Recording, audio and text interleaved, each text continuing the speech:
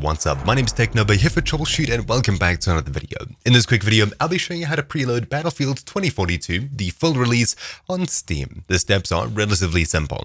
All you have to do is 1. Fire up Steam, then head across to Library at the very top, and then simply search for 2042 if you have a whole whack load of games. You'll see Battlefield 2042 here.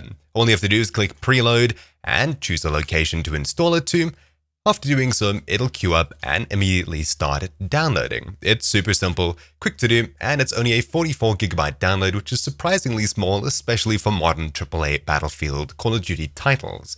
Now, unfortunately, if it's not showing a preload button, all you have to do is close out of Steam entirely by clicking Steam and then exit, and start it back up again. If that doesn't work, restart your PC and check your system clock to make sure that it's fully synced with the servers. Simply go into your time settings and then click Sync Now. Super simple. But anyways, that's about it. My name's been TechNobo here for TroubleChute. Hopefully you found this video helpful, and I'll see you all in game. And next time. Ciao.